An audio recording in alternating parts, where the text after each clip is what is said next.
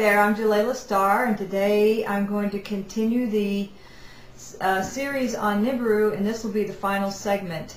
And what I want to talk about today is the Nibiruans' agenda since their contact with me back in 1993.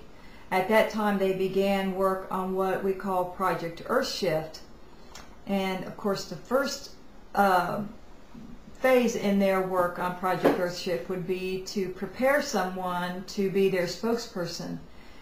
And so we began three and a half years of intense emotional clearing. Isn't that something? They didn't start by telling me who they were.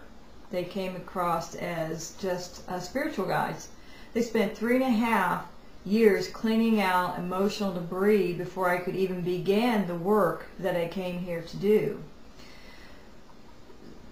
and you know that's the interesting thing about the Nibiruans. Um, I think if their agenda was anything other than trying to help us, they would have started in trying to teach me all the mental, what I call the the multidimensional candy, all about our history, all about Nibiru, what they were like, all the things that I absolutely love.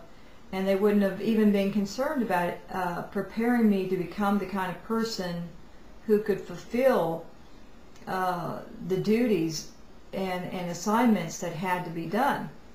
Well, the Nibiruans, their Project Earthshift was about uh, the final phase of their efforts as a parent race to help us achieve our divine mission, which was, which is to become a seed race that can achieve compassion and populate the galaxy and bring peace uh, to the galaxy and the galaxies beyond ours. Uh, and there's a reason for that. And there's a lot of drama going on. Because you're at the end of a universal game, or the potential end of a universal game. And so the extremes of light and dark have become more extreme, and as a result, you see conflict everywhere, which is, is normal. And the idea is now we must find our way back to the middle ground. And so as above, so below. If we're experiencing all this conflict on Earth, then you can imagine what's going on out, out there. Okay, so the things that they began to teach me in emotional clearing were about past life regression, they said. And then, and I'm, not going to go into too much on all these because there's so much to cover. They taught me past life regression. They sent me to someone to teach me about behavior patterns and how to trace a behavior pattern back to the core belief that's creating it. They taught me about the temperaments, the different types of temperaments. Um, they taught me about how uh, inner child work, about working with guides. And then they went beyond that and taught me how to travel timelines or what uh, is now called remote viewing because they said when you do emotional clearing you can clear for the planet that you're on now and the lives on that planet but remember the soul's been many many places so you have to be able to clear all the way back to other planets and other events on other timelines so I learned to travel timelines. So all that began, was done in the three and a half years, just preparing me to even begin the work that I came to do. So in 1995, uh, at the very end of 1995, they revealed to me my true identity. And then we began a lot of the galactic work. Uh, in that, uh, they taught me um, uh, DNA recoding, accelerated DNA recoding to recompile DNA, uh, the, ten, the, the other 10 strands, so that I could communicate with beings beyond Earth even more effectively and re, re you know, bring my psychic abilities to a higher level. Um, and then after I did that, um, they began giving me the formula of compassion, which they were giving to me in pieces through the DNA recoding process, but I wasn't able to really, you know, you, you see things in hindsight. So I was able to write down the formula after I completed it, and then I posted it on our website so that everybody could have it. They said make certain that one goes on the website for every, for the world to have. And then uh, I began doing the grid work, which was and the templates, which was part of us uh, Project Earthshift was to achieve an ascension staircase. And these stair steps would be levels of consciousness that a human could step up to. Uh, so they're so they're moving, they're stepping out of 3D and into higher levels of consciousness, and that would be the, you know, because not everybody's going to the same level. They're going to go to different levels, but at least the stair, the steps are there.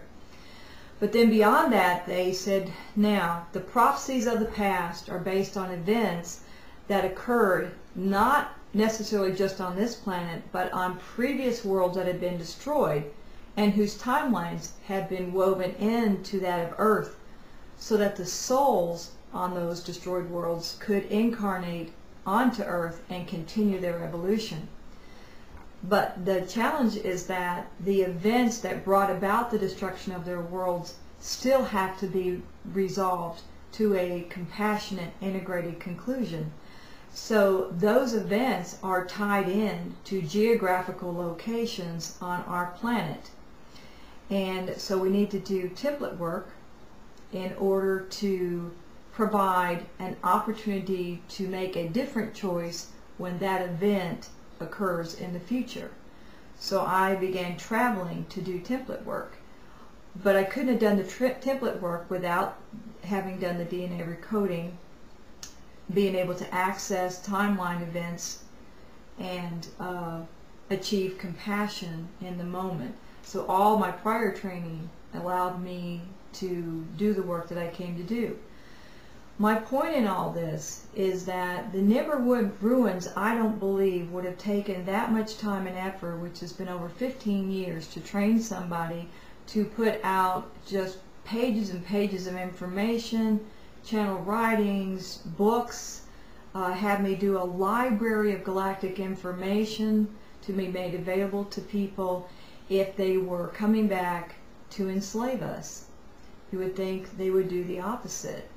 Plus, I've, all, I've often learned, I mean, I've learned that many times the powers that be are going to, they're going to try to sway you against one person over, you know, and, and toward another based on their agenda.